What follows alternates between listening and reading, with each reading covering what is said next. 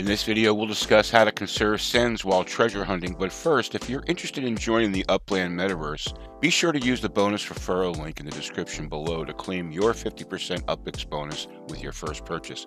UpX is the in-game currency for Upland, and you can earn a bonus of up to 50,000 UpX just by using the referral link. So check the description below and the Upland website for more details. And be sure to join the Upland Treasure Hunters Facebook group where we focus specifically on treasure hunting. You'll find a link in the description below. At the time of making this video, Upland allows players to collect 80 cents per day. You can also get a replenishment of up to 3 sends per day, but remember, you can only hold 11 sends at any one time. A treasure hunter's mission is to get the most hunts out of your daily sends. This is accomplished by knowing the treasure hints, accurately estimating distances, poking around for as much information as possible, and tracking the sends you collect. The more accurate you are with sending during each hunt, the less sends you'll use during a hunting session. And those send fees can really add up. Let me show you what I mean.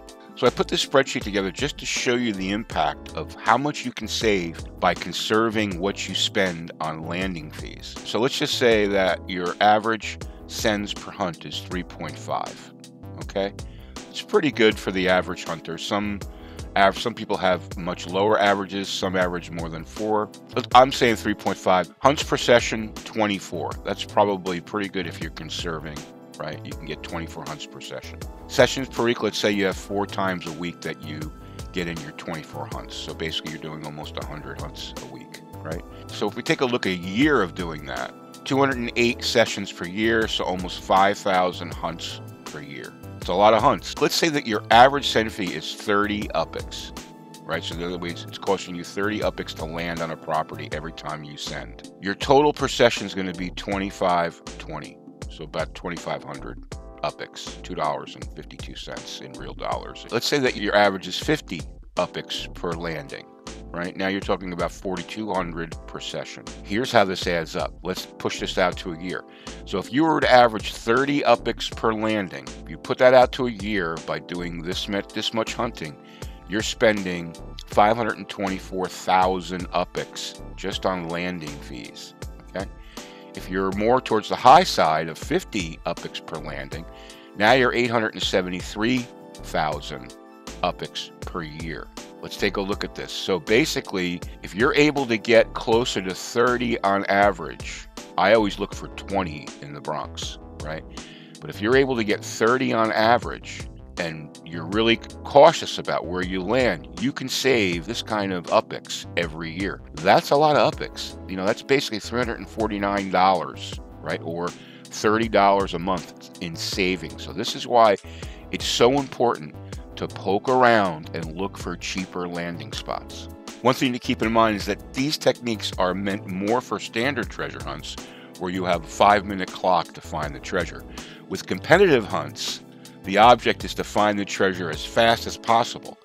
And while I try to conserve during competitive hunts, I'm not concerned with what sends cost or how many I use to find those limited, exclusive, rare, and special treasures. I figure I'll make it up by using as few sends as possible while I'm standard treasure hunting during cooldown periods. Owning properties in your hunting city of choice will help you conserve sends as well, of course. You can send your Block Explorer to your own property without using a send or paying any send fees. There are many times I found a treasure by only landing on my own properties. For example, in this treasure hunt, I was able to find the chest with zero sends. Yeah, sure, that's very lucky, but it can happen. And you can also collect sends that are close to your property without wasting a send to find it. This takes some time, but it helps you get more hunts in per session.